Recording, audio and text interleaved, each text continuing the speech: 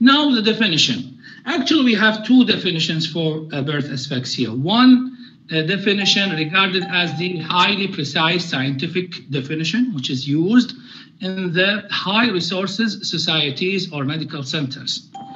Uh, it means contain the criteria of diagnosis of asphyxia. And we have a, a clinical uh, definition, which is used in low resources uh, center or low resources environments.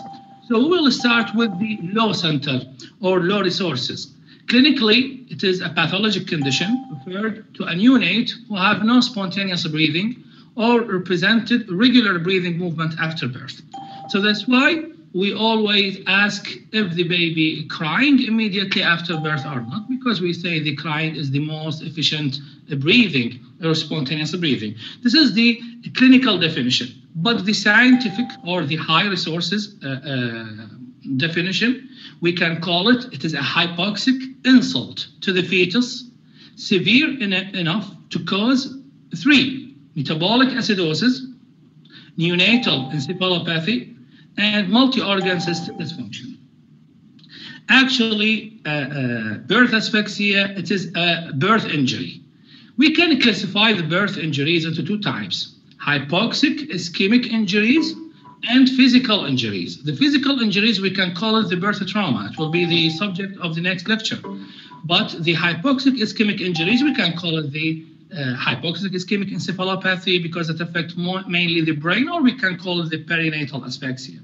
So perinatal asphyxia describes a clinical entity whereby the fetus or the newborn infant sustains an impairment of respiratory gas exchange, and this will reflect an acute respiratory failure. Because if the patient cannot take a breath uh, uh, uh, spontaneously, of course, there will be a failed respiratory gas exchange, and uh, after time, there will be hypoxia and hypercapnia, or an increase of the uh, CO2 in the blood, and this is called the acute respiratory failure of the type 1. Now, uh, before coming into the details of this subject, we have to know these uh, uh, definitions because very important and we will repeat it more than one time. Firstly, anoxia. When we say anoxia, we mean complete lack of oxygen in the cells or organ. While when we say hypoxia, of course, hypo, it means decreased availability of O2 in the cells or organ. And we refer it as the PO2, as the partial pressure of O2. Now, sometimes we call it hypoxemia. And when we call, uh, talk about hypoxemia, so we uh, mean the decreased arterial concentration of O2 rather than the tissue, the cells, or the organ. So this is the difference between hypoxia and hypoxemia. But of course, the significance of hypoxemia, it will lead to hypoxia, or it will be uh, accompanied uh, by hypoxia because the, the end result of decreased arterial uh, concentration, of course, there will be decreased availability of the oxygen in the cells or organ. And we have the term which is ischemia because we called hypoxic ischemic. So what is ischemia? Ischemia, as you know, it is insufficient blood flow to the cells or organ to maintain the normal uh, uh, to maintain their normal function. So there is cessation or uh, decrease in the blood flow to that organ. So now, what are the epidemiology? We say uh, uh, it is important, it is a frequent, it is common. So what are the epidemiology? The epidemiology of birth asphyxia differ according to the societies. So in developed countries, it will be low. It's just about uh, uh, up to one in 1,000 births in term infants and the uh, uh, neurologic disability will be significant in just about 0.3%. You know the percentage decrease, and this reflect what? This reflect the improvement in the neonatal care that uh, uh and that uh, uh, given to the, that asphyxiated baby to make the significant neurological disability to a lesser degree.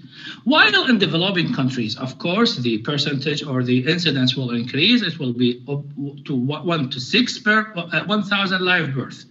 And uh, this statistics done by WHO in, in, in uh, 2008, yes, uh, it is uh, uh, about more than 12 years, but it is the, the most large statistics and the last that we found it says that about uh, 900,000 total infants die each year from birth asphyxia.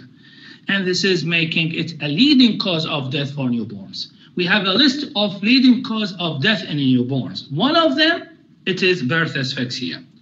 And in the United States itself, the intrauterine hypoxia, and uh, look at the uh, uh, definition here or the term intrauterine, not uh, uh, that's mean prenatal, uh, before the delivery, and the birth asphyxia, that's mean that happened during or after. It listed as the 10th leading cause of neonatal death. This is a high percentage, even in the United States.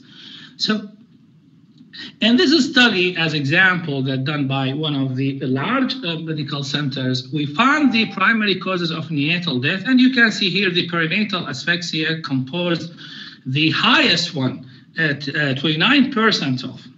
And uh, uh, uh, in this statistics that take a huge number of neonatal death, about 4 million neonatal death worldwide each year, that found the asphyxia comprise 23%, and it lies uh, uh, just behind the uh, infections and the pre-term or the prematurity, which is very high percentage. Now, that's what, Uh, why birth asphyxia or perinatal asphyxia is very important. And we say also it can be prevented, so the intervention can be done at appropriate time to decrease its incidence or at least to decrease its complication, the early and the late complication.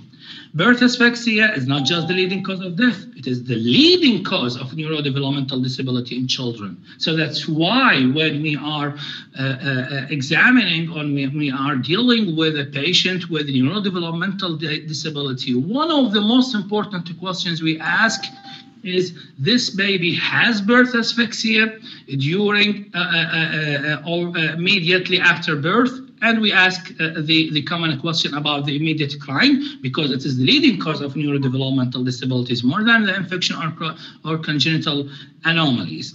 The term perinatal asphyxia, as I said, it is preferred to use uh, uh, uh more than birth asphyxia because it reflects what happened uh, uh, before, during, or after birth. And of course, uh, when we are talking about uh, birth asphyxia, we are talking a top emergency condition that need rapid and urgent treatment. We call it the resuscitation regarding the babies.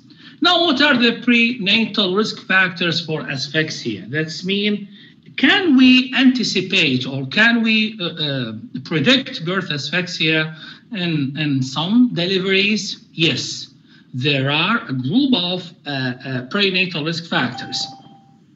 We can call that uh, what is related to the mother herself. So, an extreme maternal age, less than uh, 15 or more than 35, maternal diabetes mellitus, maternal use of drugs, and preeclampsia. We can anticipate or we can say this is a risk factor. Causes or factors related to the placenta itself, placental abruption or placenta previa causes related to the pregnancy period, like postterm, uh, preterm, or the type of pregnancy, multiple pregnancy, it is a risk factor. Or causes related to the fetus, it's inside the uh, uh, uterus, like malpresentation and abnormal lie. This may lead to difficult labor. Meconium stained amniotic fluid, fetal bradycardia, which reflect a fetal distress, and premature rupture of membrane. All these are risk factor. Presence of these risk factor is not necessarily mean this baby will has birth asphyxia. But I said you have to anticipate that your baby may undergo this uh, stressful condition to the uh, level of perinatal asphyxia. So you have to uh, prepare, uh, uh, prepare yourself for doing the intervention at the appropriate time. Now, what are the uh, uh, uh, etiologies or the causes of the birth asphyxia? Summarily, anything that can be uh, an event that comprises or compromises the blood and oxygen flow to the fetus, it will lead to birth asphyxia. We said it is hypoxic, ischemic. So decrease in O2 supply or decrease in blood supply. Now we can classify it into three global factors antenatal factors, the intranatal factors, and finally, the postnatal factors. We will review in details. Now, if we are talking about the antenatal factors, we can refer to one of the most important, or maybe the most important. We are talking about the placental insufficiency. So anything that interfere with the placental insufficiency uh, or placental vascularization or supply to the baby while he is inside the uterus, it may lead or it may cause birth asphyxia. So again, we can uh, divide the antenatal cause into uh, maternal factors, something related directly to the mother it's herself. First is when there is an impaired maternal oxygenation due to anemia. The mother has severe anemia or pulmonary diseases or cardiac or neurologic diseases. So there will be hypoxia in the mother, but hypoxia that's not be harmful to the level of the mother herself, but it will be uh, with defective oxygenation coming to the baby. So this is a maternal cause. Decrease of blood flow from the mother to the placenta due to maternal infection, shock, dehydration, or hypotension. This is mean an acute illness. The mother health generally is normal, and the oxygen supply uh, in, in her blood is normal and going normally to the baby. But because of acute severe illness or critical illness like those, the blood flow to the uh, uh, from the mother to the placenta will be decreased. Now I will skip the placental factors and I will go to the fetal factors. Then I will go to the placental. Now, antenatal factor, but related to the fetus inside the baby. Like what?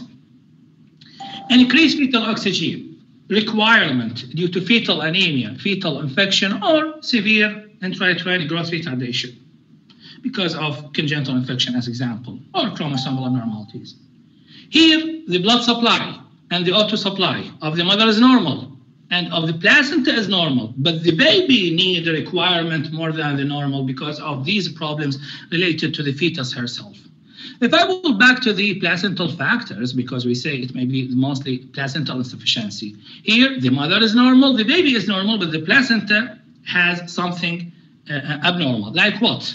Decrease the blood flow from the placenta to the fetus due to placental abruption or cord prolapse entanglement of the cord, or through knots of the cord, cord compression, or abnormality of the umbilical vessels. This is primary cause related to the placenta, making it uh, defective in blood flow.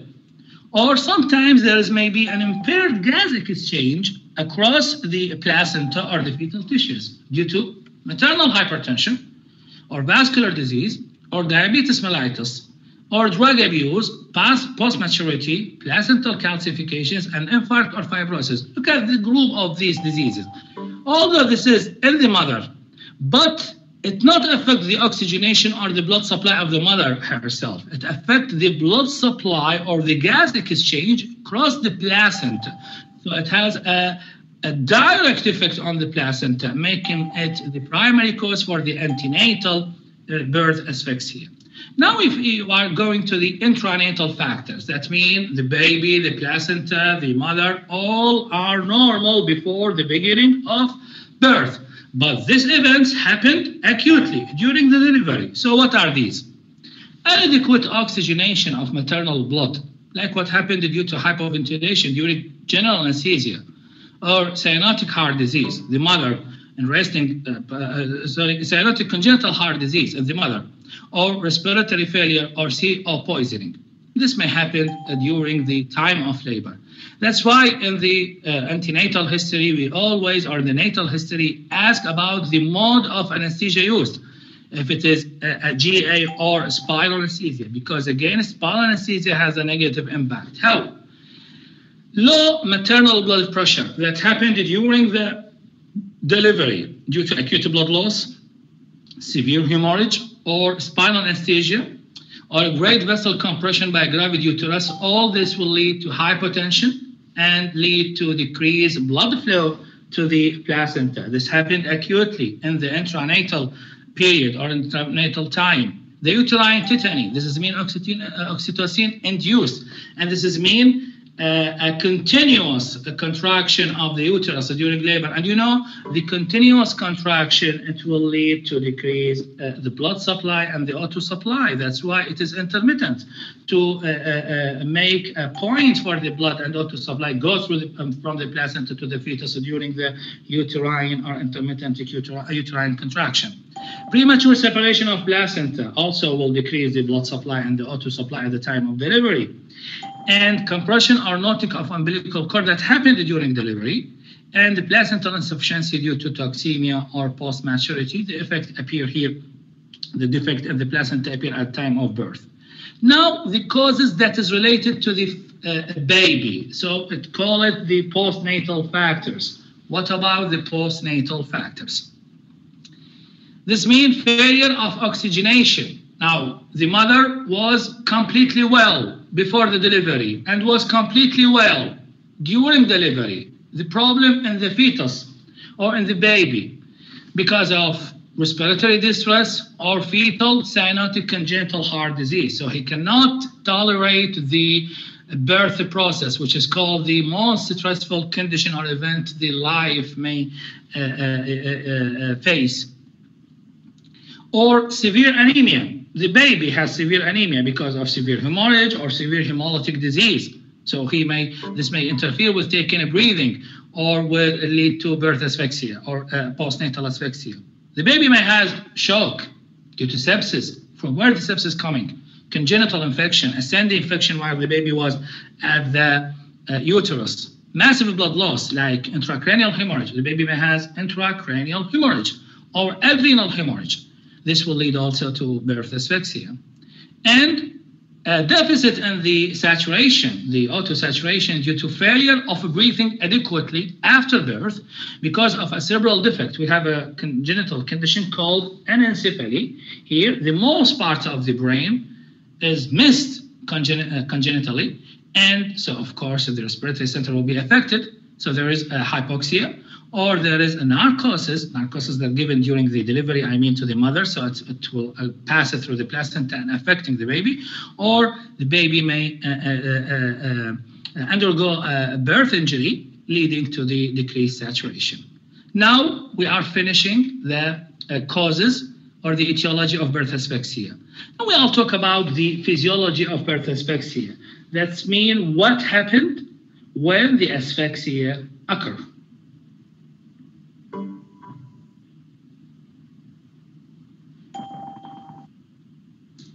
Well, okay. This uh, uh, diagram will uh, uh explain what happened during uh, birth asphyxia. So, when babies become asphyxiated, that's mean cannot or undergo the condition of asphyxia. I mean decrease the O2 or, or the uh, hypoxia or ischemia. You know now. So this is either in utero or after delivery. The baby will undergo a well-defined sequence of events. We call it the primary apnea.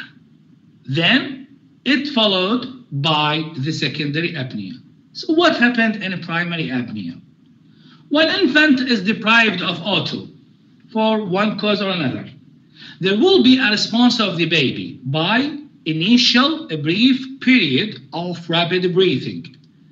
This is what happened. Then the baby, if the deprivation of the O2 will continue, so the baby respiratory movement will cease, will stop, and we are in the primary apnea. In the primary apnea, not just the uh, breathing is stopped. The heart rate also start to decrease. And the blood pressure also start to decrease. The muscle tone also will gradually diminish. And the infant enter at the period of what's called the primary apnea. Here is, at this step, in primary apnea, the initial steps of resuscitation will induce a breathing. And we will know what are the initial steps of resuscitation later on. Now, if we don't interfere or the asphyxia continue, I mean the causes of deprivation of O2 and blood supply will continue. So the infant will develop a deep gasping respiration. A deep gasping, you know the gasping respiration. This here, the heart rate will continue on decreasing and the blood pressure will start to fall more and the infant become nearly flaccid. We say the gradual movement, sorry, we say the uh, uh, gradual movement of the baby uh, decrease in the primary apnea. Here, no, the uh, patient become nearly uh, flaccid or uh, a, complete a floppy baby. He cannot move any of his limb. And the baby enter a period of what's called a secondary apnea. Now, the secondary apnea, here, the intervention is not by simple or initial steps. We need something to do actively to interfere with. So this is what happened in the normal history or natural history of birth asphyxia or the physiology. I will repeat it in this way. We say oxygen deprivation for one cause or another. There will be a rapid breathing, rapid breathing of short period, leading to tachypnea. Then the primary apnea. It is reversible with the simple measures like the stimulation. If the oxygen deprivation didn't stop or increase, as this row show, so the patient will take gasping and gasping and breathing, and he will enter into the secondary apnea with a reversible to stimulation. And here the ventilation is a must. Now, I will take you to the uh, delivery room and uh, we will see what we could do to patient or to baby immediately delivered and what are the interventions to prevent the sequelae if it's happened.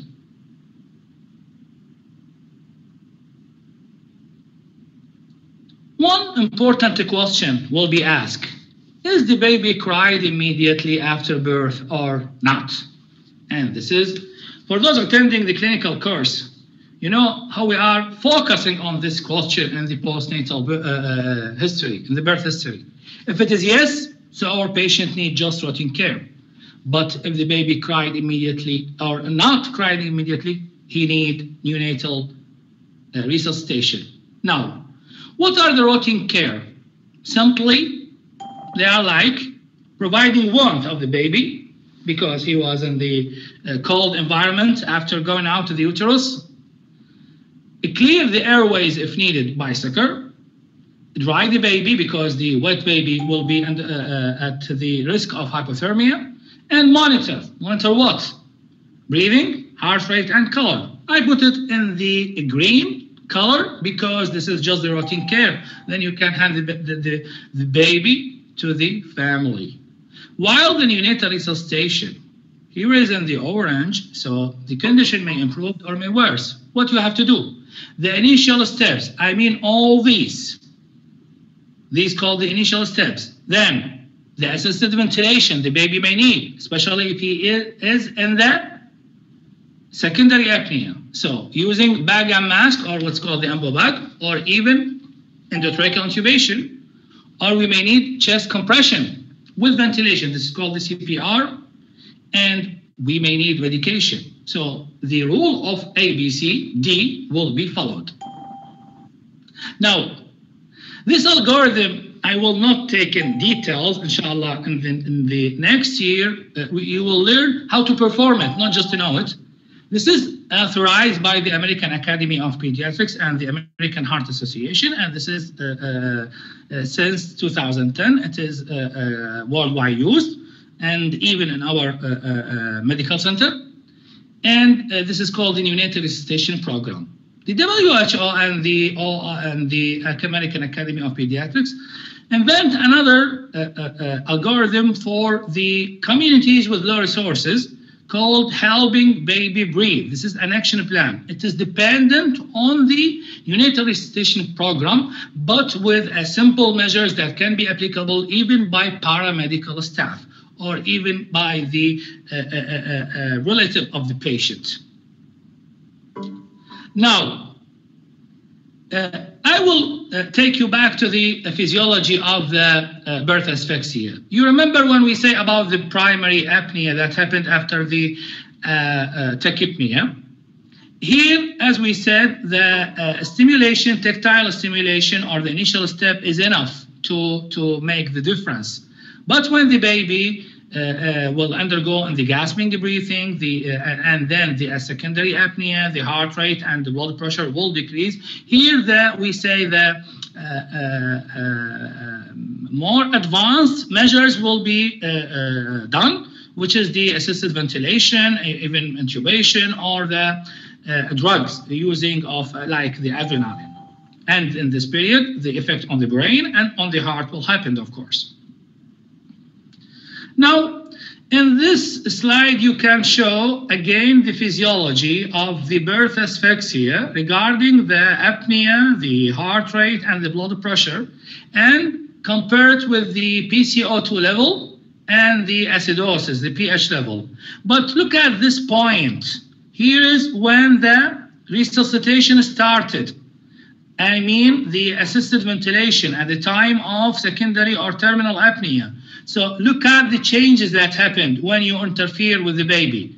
The heart rate will increase, the blood pressure will increase, and the pH will increase. That means the acidosis will improve, and the PCO2, which means the hypercapnia or hypercarbia, also will be corrected. This appear how is the intervention, the resuscitation, and the appropriate time with the appropriate measures is essential to stop the events and to relieve the condition. Of course, this study done on the rhesus monkeys, but it can be dependent depended on the or adopted in the units, in the human units. Now, according to that, and we know the importance of the intervention at the right time, we can say the longer the duration of secondary apnea, the longer the duration of secondary apnea will lead to what? The greater is the risk for organ injury. So interfere as soon as possible with the appropriate measures. Now, what are the first signs of recovery for the baby? You see it from the last picture. The heart rate will increase and the blood pressure also with improved perfusion. And I look at this fact. The time required for rhythmic spontaneous respirations to occur is related to the duration of secondary apnea. So you can predict or anticipate what is the time of the response of the baby regarding the respiration, not the heart rate, not the blood pressure. So for each minute, minute past the last gasp, that's mean we are in the period of secondary apnea. Two minutes of positive pressure ventilation using the Ambu bag is required before gasping begins. For one minute, we need two minutes. For one minute of uh, uh secondary apnea, we need two minutes of uh, uh, uh, uh positive pressure ventilation. The baby will take the gasp again. And four minutes, we need to reach to the rhythmic breathing. The breathing will be rhythmic. Four minutes for one minute of apnea. So if your baby has an apnea of four minutes, you need 16 minutes to reach to the rhythmic breathing, and eight, min- and, uh, uh, eight minutes for the positive pressure ventilation. So what about the muscle tone?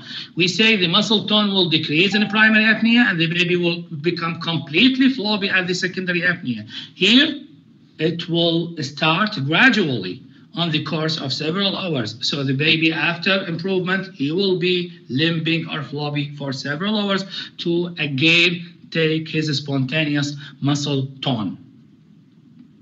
Now, this inverted pyramid show the need of the intervention, the need of intervention in the resuscitation. Approximately, uh, sorry, approximately all all the babies like uh, the frequency here, need the simple measures. But the percentage will decrease when we are advancing toward the advanced, like using the chest compression, just less than 1 in 1,000 may need the uh, chest compression, or may need the adrenaline or uh, drug just uh, 6 in 10,000 and and at the end the volume expansion. So this is mean uh, the all the, the babies need excessive and advanced uh, uh, resuscitation are much less than those need just the basic, which is the mask and ventilation. Uh, start with air, not with oxygen. Now, what make the uh, uh, resuscitation is of value. What make it? It uh, the the objective way of determine uh, the progress in your action.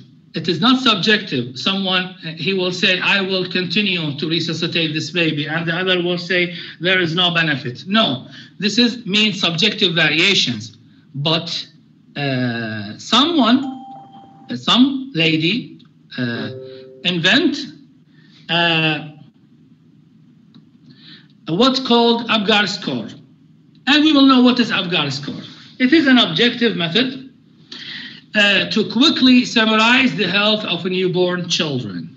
It is performed at baby, on baby, sorry, at one and five minutes after birth, and sometimes at 10 minutes and 15 and 20 minutes. The one minute score determined how well the baby tolerated the birthing process because he passed through the birth canal and passed out. Uh, uh, so this is the most stressful condition. This is this uh, first minute called the golden minute in the life of uh, baby and, and human in general. The five minutes score tell how the, well the baby is doing outside the mother uterus. Now the baby is outside the uterus. How is tolerate the life inside this environment? The five minutes tell us about this. So in rare cases, as I said, the test will be done 10, 15, and even 20 minutes after birth. Who developed this uh, score? It is uh, American, it's an American anesthesiologist, Dr. Virginia Apgar, in 1952, she invented this uh, Apgar and this is called, and it take the uh, name, the her last name, and from that time, the world, the whole world, uh, start to decrease in the mortality and morbidity during labor, and the infant mortality rate start to decrease because all the world start to follow this objective score.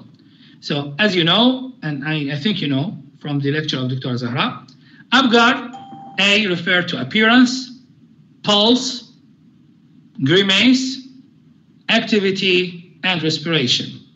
Each of these signs can receive 0, 1, or 2 points. So the full score is 10, and the zero score is 0 because all are absent. What are the components of the score? But before going to the components, this is Dr. Virginia Apgar, and uh, this is a tribute to her soul because of her uh, uh, uh service or her help uh, the world in general to decrease the infant mortality rate. Now, these are the components, these are the elements of the Apgar score and how we detect it we just give the uh, uh, the score for the finding that found in the uh, newborn baby at one minute and five minutes, and this show uh, what is when we say the appearance, what is the uh, score zero, what is the remains, what is the where there's no movement. So you can go back to it, but this is of course required from all of us as a doctor to know what is Apgar score and how we can calculate the Apgar score. Now Apgar score assessment.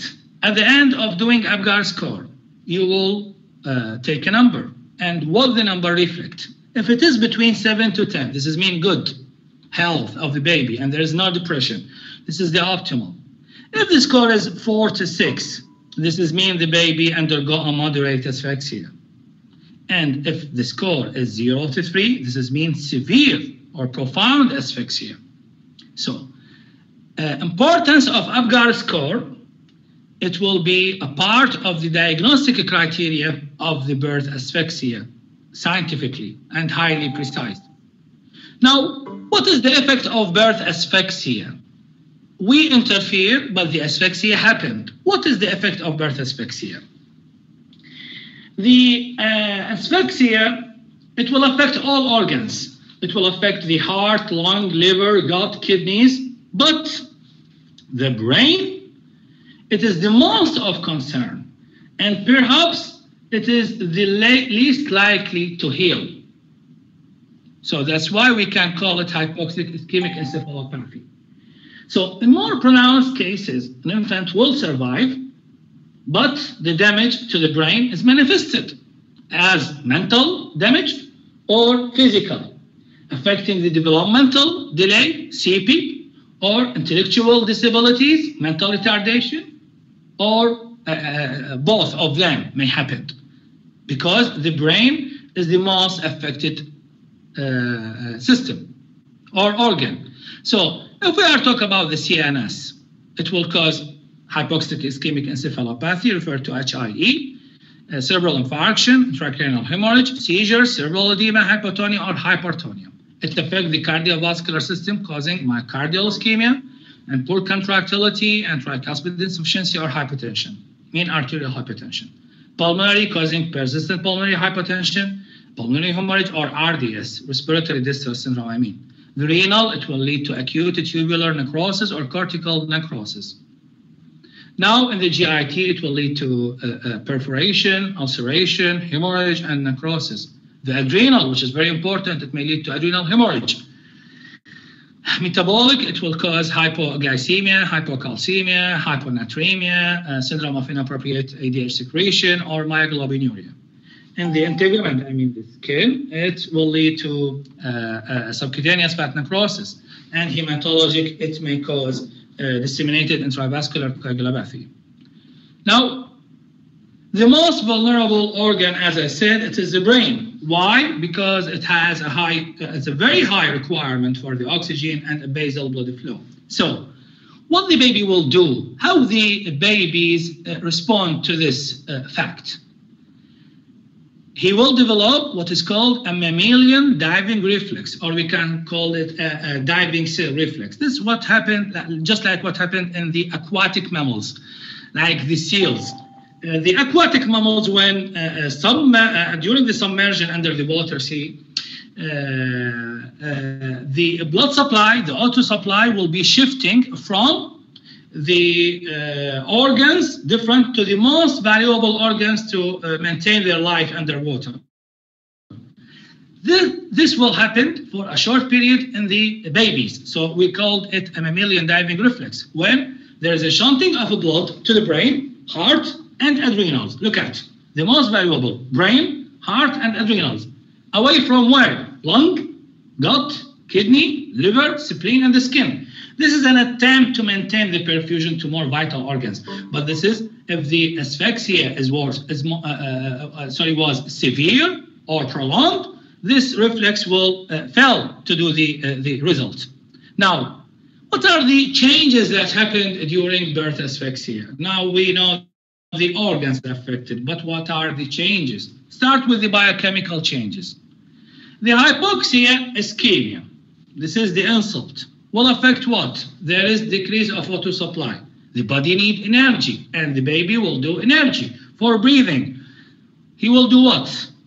The anaerobic metabolism pathway will start to act. And anaerobic metabolism, of course, to, to produce energy, it will lead lactate, and the lactate will go to lactic acidosis, and this means metabolic acidosis, accumulation of inorganic phosphate continue with the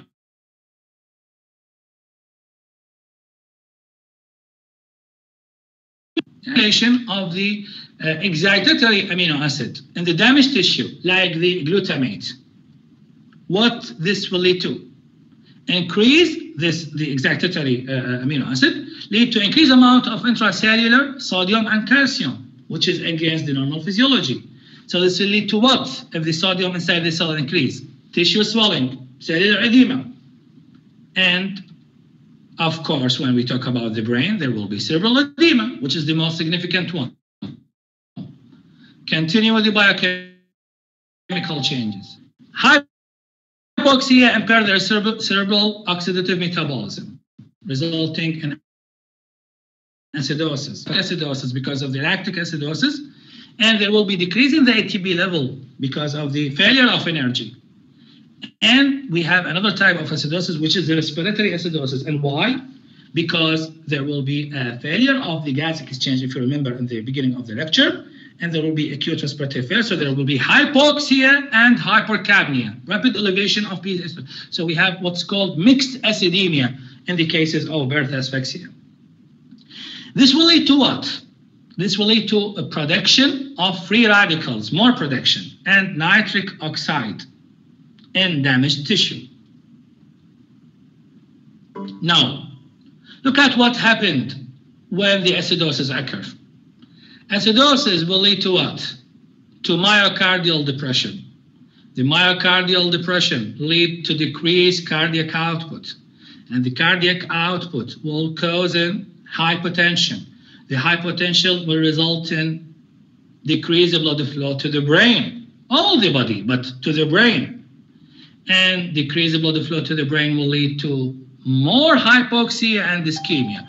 More hypoxia and ischemia will lead to more acidosis. So as you see here, this is a vicious cycle started by the hypoxia and ischemia to acidosis and it will if we cannot interfere if we cannot cannot cut this cycle it will lead to more profound and profuse uh, changes in that point again with the biochemical changes if there is no response because of the severity of the asphyxia or the failure of intervention we will enter in the state of secondary energy failure and in this state, there will be impaired ion pump, not just the sodium and the calcium. And this will lead to what?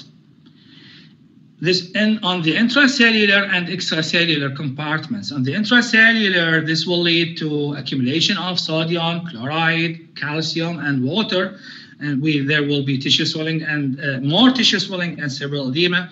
And on the extracellular, it will lead to liberation of the uh, uh, uh potassium, excitatory amino acid like glutamate and aspartate. And this is called the secondary energy failure. That's mean more damage to the brain and more uh, uh, liberation of free radicals and nitric oxide. Now, what are the circulatory response of the fetus? How the baby respond to the circulatory response? First, there will be increased shunting through the ductus venosus and ductus arteriosus, which are still open, in addition to foramen ovale. And there will be transient maintenance of perfusion of the brain, heart, and adrenal. This is called the mammalian diving reflex, as we say. In preference, then it will fail if the, there is no response or the severe uh, deprivation of O2 then there will be inadequate perfusion of the periventricular white matter, leading to what is called the periventricular leukomalacia. It happened especially in preterm babies. Now, there will be hypotension with time due to myocardial dysfunction, vascular endothelial edema, and capillary and hypovolemia. Now, even the rear perfusion of ischemic tissue, and this is what we should do, but appropriately, because the reperfusion or hyperoxia or excessive management or aggressive management will lead to more damage. How? This will lead to more generation of oxygen-free radicals, and with time, this will lead to more neuronal damage. So the birth asphyxia initially and with management, it carry morbidity and risk. This picture will uh, uh, show again what happened. There's hypercarbia, hypoxia, ischemia, acidosis, decreased heart function, and waste removal disruption. All these can happen as a biochemical and circulatory changes in the birth asphyxia. Now, what are the clinical manifestations of birth asphyxia? The clinical manifestation can be detected, can be noticed before birth, before delivery, at the time of delivery, or after. How? Before delivery, if the baby has IUGR, so this is one of the earlier signs of birth asphyxia, or there is abnormal heart rate or rhythm, or decreased fetal movement. These are signs of fetal distress, which is a sign of birth asphyxia. At the time of delivery, what are the signs or what are the clinical features? Meconium stained amniotic fluid. This means the baby undergo a difficult labor, uh, so the meconium pass while he is still in the uterus. Or, of course, we are going to the clinical definition when there is no spontaneous breathing or breathing with difficulty. After delivery, what we can see on patients with birth asphyxia. After delivery, there is a hypertonic state or hyper or hypotonic state. Both of them. There will be pallor because decreased tissue perfusion, cyanosis, apnea, bradycardia, and no response to stimulation. Cerebral edema may develop during the next 24 hours and depression. Cerebral edema originated. Seizures, and the seizures here may be refractory to the sense because of the direct risk of the uh, injury to the brain or because of the hypoglycemia that happened and uh, or hypocalcemia that happened with the biochemical changes and now the uh, for these reasons the diagnosis of birth asphyxia is not uh, straightforward or it is not easy to do so that's why the american academy of pediatrics and the american college of obstetrician and gynecologists put a criteria for the birth asphyxia. These criteria put at 1996, but up to uh, 2016, the American Academy of Pediatrics revised this criteria and uh, keep it on the uh, way of diagnosis of birth asphyxia. First, profound metabolic or mixed acidemia, mean pH less than 7, and umbilical artery blood sample. Persistence of Apgar score less than 3 at 5 minutes. Neonatal uh, uh, encephalopathy manifesting as seizure, hypotonia, or coma in immediate neonatal period, not later on. And evidence of multi-organ dysfunction, example, the kidney, lung, liver, heart, or intestine. All these, all these should be present together to say this is a birth asphyxia to differentiate the neonatal encephalopathy happened in these cases from other causes.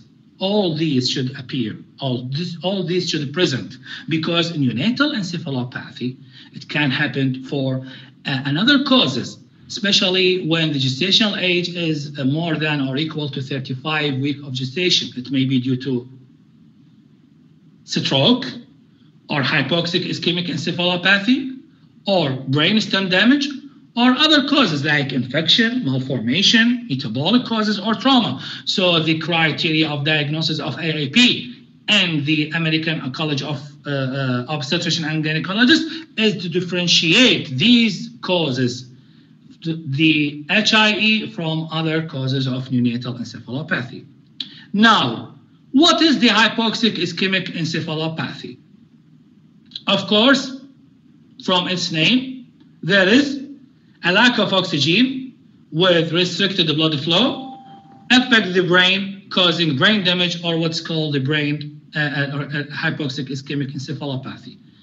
It's referred to characteristic neurologic manifestations in term and near-term uh, newborn, and uh, the uh, it's in about less than 50% of the cases, the brain is the only organ that exhibits dysfunction. So that's why in the criteria, the multi-system organ dysfunction. And up to uh, more than 80% of the cases, there will be involvement of other organs other than the brain. Its incidence is 1 to 8, and half of them will progress to moderate or to severe uh, uh, ischemic injury. And uh, uh, it may lead, or it's important cause to permanent damage. Look at this, permanent damage to CNS, either leading to neonatal death or manifested later on as cerebral palsy or developmental delay. And about, uh, you can know the uh, percentage here, about 30% uh, of them will die in neonatal period, but those survivors will, about 50% of them will have permanent neurodevelopmental abnormalities like CP or mental retardation. Now, the brain damage that happened in uh, hypoxic ischemic encephalopathy, it differ according to the gestational age of the baby, whether he is term or preterm. And you can see here the uh, uh, area affected accordingly. And according to this, the clinical presentation also will differ. Now, these are the most vulnerable areas of the brain that affected by the hypoxic ischemic insult. This, these are the clinical signs and symptoms of birth asphyxia summarized in this picture. You can revise it.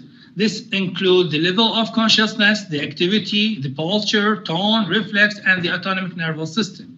But because of the variation of the presentation, so we depend on a staging system for the hypoxic ischemic encephalopathy, classifying it into stage one, two, and three, mild, moderate, and severe, according to these parameters appear here.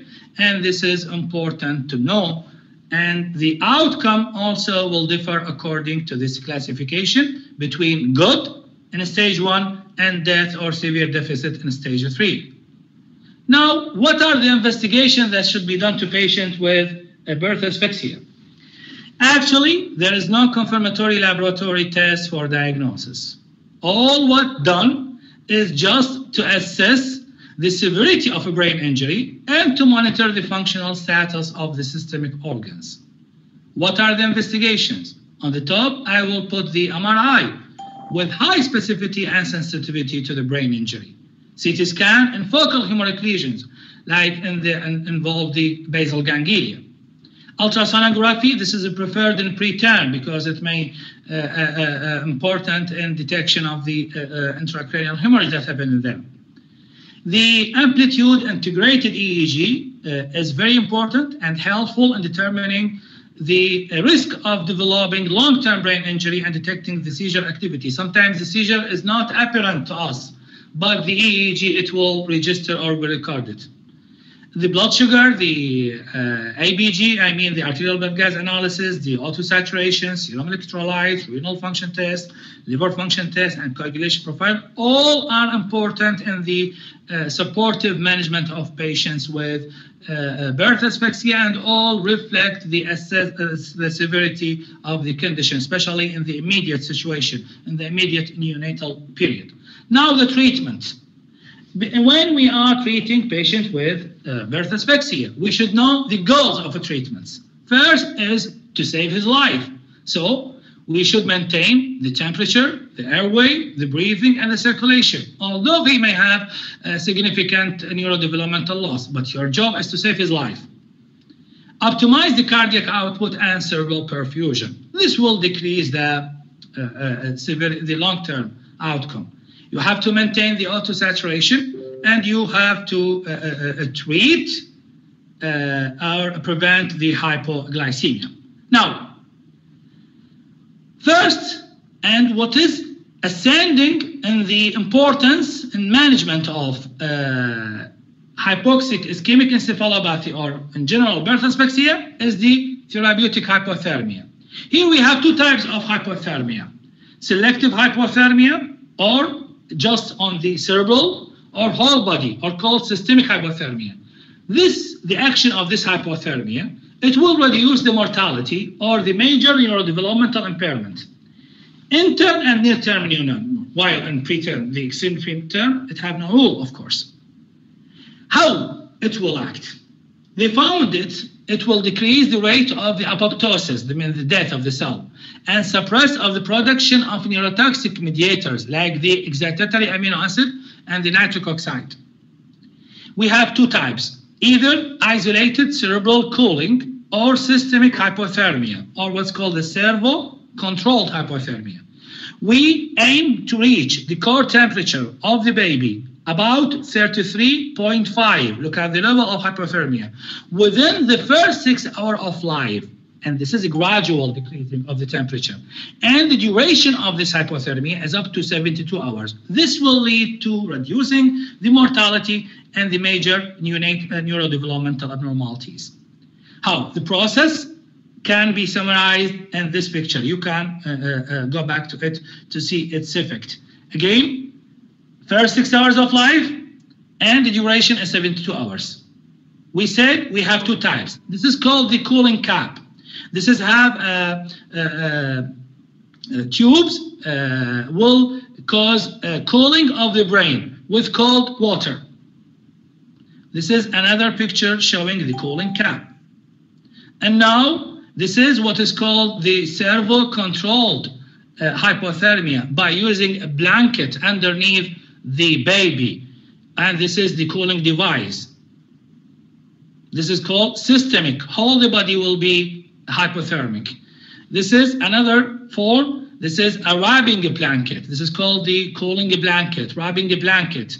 You can see the monitors. and Now, the hypothermia therapy has complication like thrombocytopenia, bradycardia, subcutaneous fat necrosis, and potential for overcooling and cold injury. Now, the other uh, point of treatment is the anticonvulsant to control the seizures. And the drug of choice here is phenobarbital. Give it in loading dose and maintenance dose.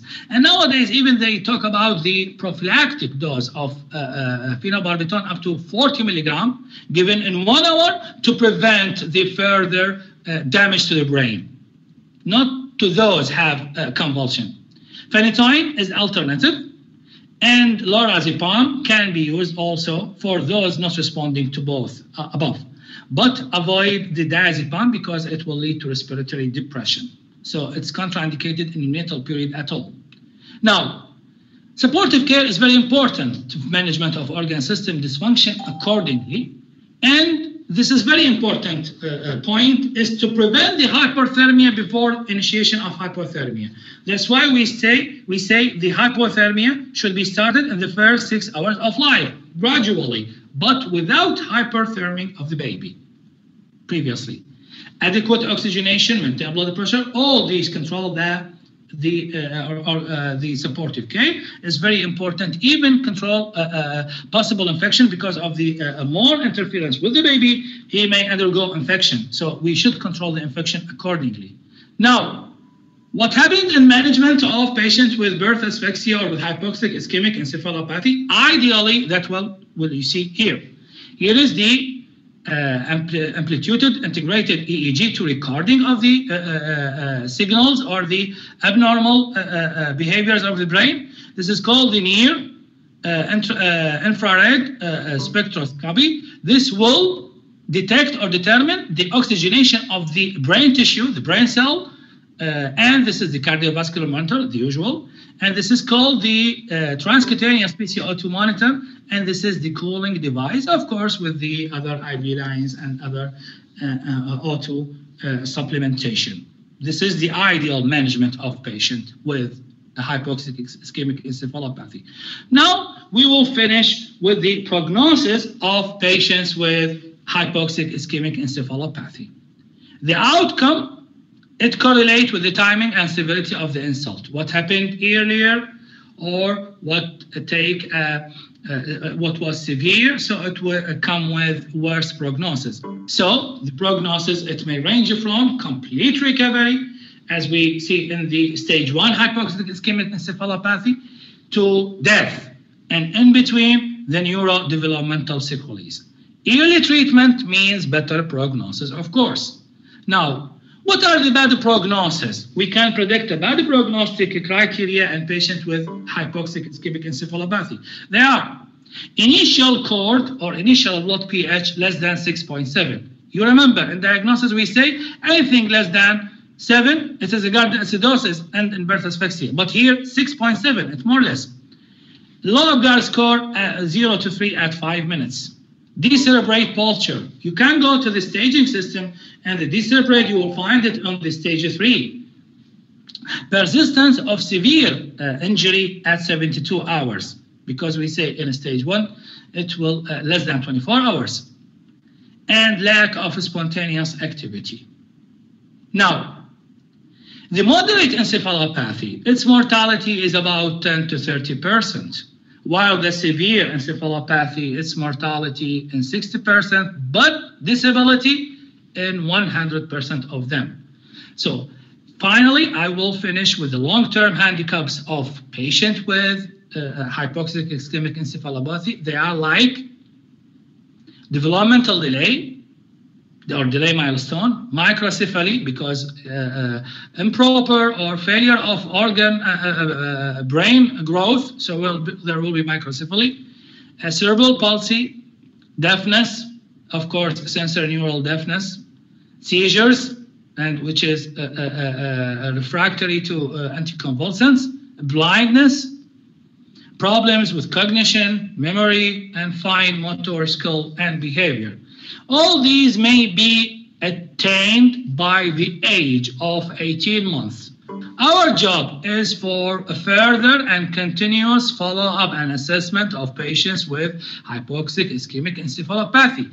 And it needs a teamwork involving us, involving the uh, neurologist, involving the uh, uh, specialists in the uh, ENT and in ophthalmology. All the teamwork here will act to assess the long-term handicaps of patients with hypoxic ischemic encephalopathy. Thank you.